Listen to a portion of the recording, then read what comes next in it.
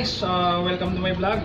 Sabi ko nga sa inyo, gagawa natin ng uh, separate video yung uh, uh, paglalagay natin nito. Deadbolt lock. Ayun, gagawa natin siya ng separate na video kasi uh, nung mag-replace tayo na nito, nung pinalitan natin yung lumang doorknob, eh, kung isasama natin itong paglalagay ng deadbolt lock is masyadong haba. Although may video na ako nun guys ng uh, deadbolt lock pero kabilaan yon is susian.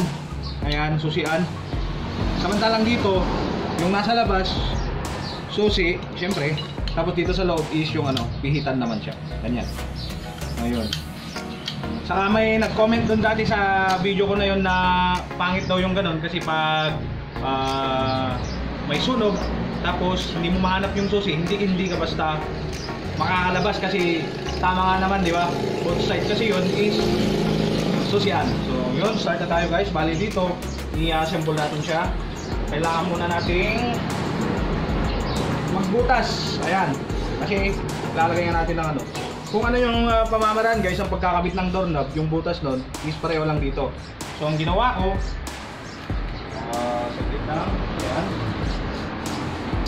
Mula dito sa center na to, center nito, ah, umangat ako ng ano, 5 inches. Ito yung sa akin guys, sinishare ko lang sa inyo kung paano ako maglagay ng ano, ng uh, deadbolt lock. Yan, sa mga veteranong karpintero dyan, saludo ko sa inyo. Yan, share natin yung alam natin para malaman din ng nakakarami. Ayan, yung mga katulad kong nag-uumpisa pa lang. Ayan. Mula dito, mga tao ng 5 inches, ayun, konti lang yung ano ko kasi nakakaya sa may-ari kasi na-varnish na. Ayan, saka yun. Mula dito, gilid, kumuha ako ng 60 mm. Yan, 60 mm guys, millimeter o di kaya 2 and 3 8 pagdating naman sa ah, inches. Ayan, 60 mm or 2 and 3 8 So, yun. Bali, ito na yung ano, pinaka-sentro niya. Ngayon, bubutasan natin yan gamit yung ito. Ayan, holso. Holso na sadyang ah, naka-design to na para sa door knob. Ayan. Bali, pag bumili ka na ito guys, is set na yan. Ayan. Bumili ka na ito, may mga nabibiling ka nito guys hardware. Ayan, set na yan. Ito is para dito sa may bolt niya dito sa gilid. Ayan, dito. Ayan, pambutas dito. Tapos ito naman, pambutas dito syempre. So, ngayon, butasan na natin to. Ayan, Oh, so yung sa sentro na yun guys, dito natin itatama yung pinaka bit ng ano, barena. Ayan. Sentro lang natin ng ganoon. Ayan.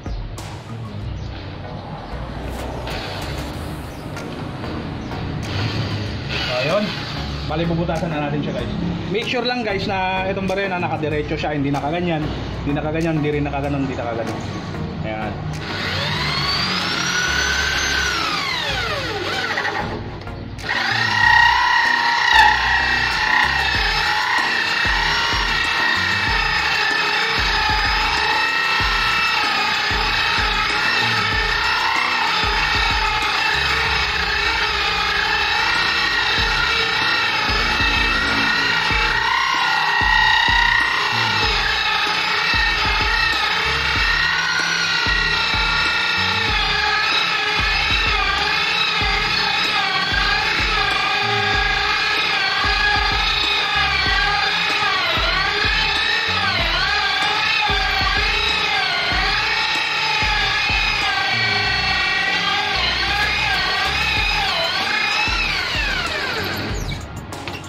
Bali sumagat na tayo dito sa dito sa kabila guys. Bali ah ano ano naman natin dito sa kabila.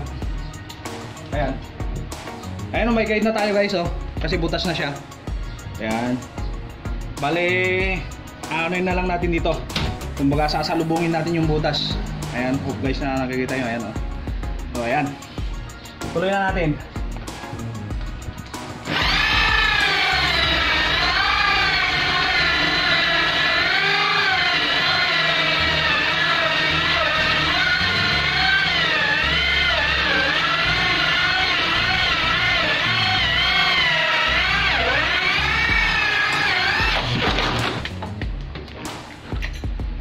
So, ayan guys. Tanggal na siya. Ayan, kita nyo guys, is dire-diretso yan. Kabila. Ayan. So ngayon, nabutasan na natin siya. Ah, dito naman. Dito naman sa kabila. Papalitan natin yung blade ng drill. Tapos bubutasan natin dito sa may sentro dito. Ayan, kung saan ilalagay yung ito. Pinaka-bolt niya. Ayan. Ayan, dito natin yan ilalagay guys. Bubutasan natin yun. Gamit nito. Flat drill na ah, 22mm. Ito is mas malapad na naman siya. Ayan, kumpara dito.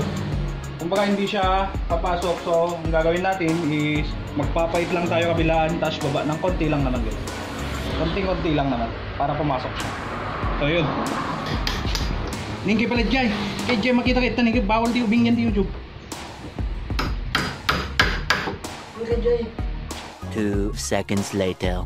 So, etong ano guys, bale yan. Okay na siya. So, napasok na. Ngayon, bale naka-usli kasi ito. Ayun, so kailangan natin siyang ilubog. Kung baga, kung ano yung kapal nito guys. Kapal nito, ilulubog natin siya dito. Ayan, may markings na ako. Bale, bubutasan na lang. Kabaw na lang siya.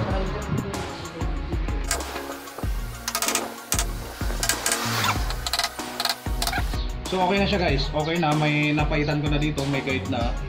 Ayan. Ayan. Ayan. Napait na siya. Ngayon, papasok na natin guys. Dito may tanda siya guys yan. oh. Up. Ibig sabihin, sa taas syempre, di ba? Ayun, papasok natin siya ganon. Ngayon. Ngayon. Tapos dito guys, sa pakros niya, lagi nyo tatandaan ito, tip lang guys.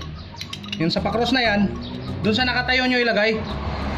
Ito, dun sa nakatayo nyo ipasok. Ayan, ganyan. Siyempre yung brand name niya, bandang itaas para mabasa. Ayan. Tapos ito, sa patayo nyo ilagay. Ayun. Ganon. Tapos lalagay natin yung uh, pair niya. Ayan na yung tornilyo nga dulo. Bali lalagay na natin yung pair niya guys. Dito sa loob. Ito kailangan din ng patience. Ayan. Lalagay na natin.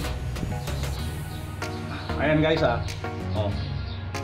Kumbaga hindi yan nakasentro yung dalawang butas. Hindi yan nakasentro. Kumbaga yung dalawang butas na yan is ilalagay natin dito sa may ano ba? Bandang baba. Ayan, ganyan, pa ganyan siya. Pasok lang natin. Ayan, may butas din siya, guys. Ayan. Ayun. Testing natin. Ayun. Di ba? Ayun. Okay, ngayon ilalagay lang natin tong pinaka-tornilyo niya. Ayun, pumasok naman sa butas. Ayan, ito sa isa. Check lang natin kung pumasok din. So, ayun, pumasok na. Ayan, iikpitan na lang natin.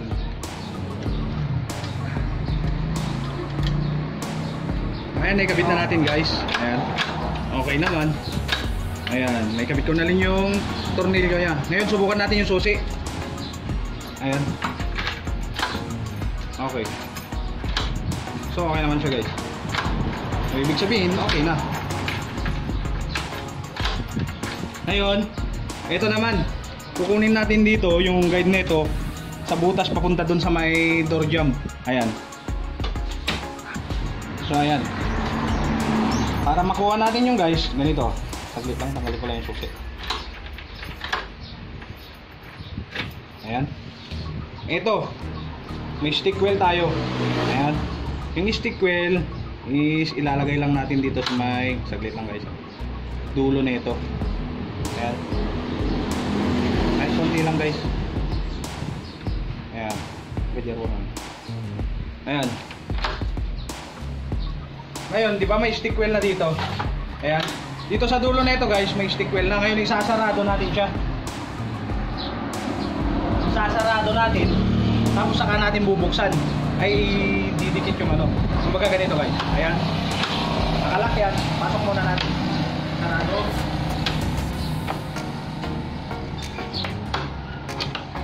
So ayun. Hiniin ko. Tapos saka ko linak, pinilit linak. Ayan na yung ano. Ayan na yung pinaka-guide natin kung saan natin ilalagay yung butas. Okay? So, yun yun. So, yung ginawa ko kanina guys, paglagay ko ng ano, stick well, dito sa dulo nito, linagyan ko.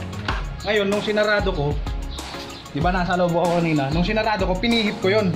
Kumbaga dumikit yung pinaka-bolt nun dito. Saka yan na yung naging ah, tanda. Ngayon, bali actual ko to pabaliktad naman. Kasi may guide na nga ako doon kung saan tatama. Ayan. Tapos ginuhitan ko yung dalawang butas.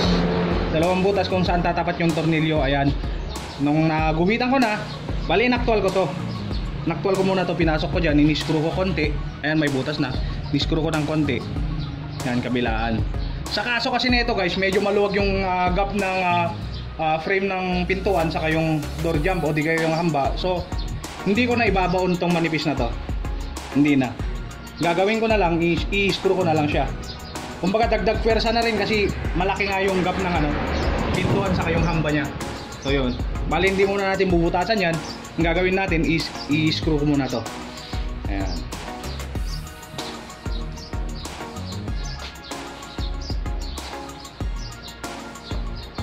So bale yan, nakabit ko na siya. Ngayon nakabit na siya guys. May guide na tayo kung saan natin magbubutas. Ayan. Ayan, bubutasan na natin to. Ayan. Para malinis ding tingnan kasi naka-guide na siya guys. So, yun bubutasan ko na lang. Shout out sa mga veteranong ano dyan, karpintero dyan, ah, idol, mga idol dyan. Allah.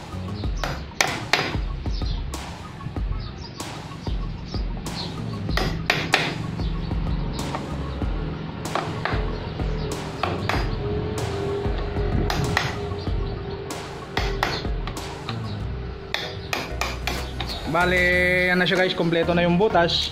Ayan. Nabutas na. Ayan. Mas maganda kasi magbutas guys pagka ano na, nilagay mo na yung pinaka ah, plate niya. Magbubutas ka na lang. Ayan. So okay na. Ayan. Bale, ang pagkuha ko sa lalim yan guys, ganito lang yan. Bale dito. Ayan. Dito sa loob. Ayan, pinihit ko lang yan, binuksan ko. Ayan. Tapos gamit yung pait. Ayan, kinuha ko lang yung kapal niyan. Ay, ka, gaano kahaba yan. Ayan. Kumbaga ganito. Ngayon, ito yung pait. Ay, ah. Ayan. Tapos ilang ako yung kuko ko yan. Ayan. Ngayon, alam ko na yung lalim niya. Linipat ko lang dito. Ayan. Linipat ko lang dyan sa may, dito sa may butas. Ayan.